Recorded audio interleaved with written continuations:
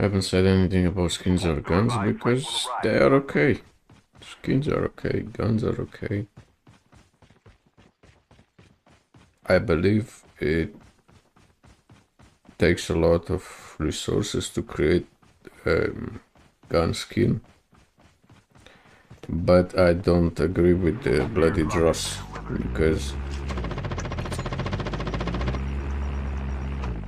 you have to uh, you have to buy the, the, the full draw anyways, so just put a price and don't raise it like that and take the unnecessary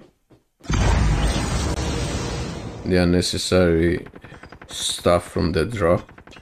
If they just put it to raise the price of the draw, just take those kind of things out. Lower the price and you're good to go, man.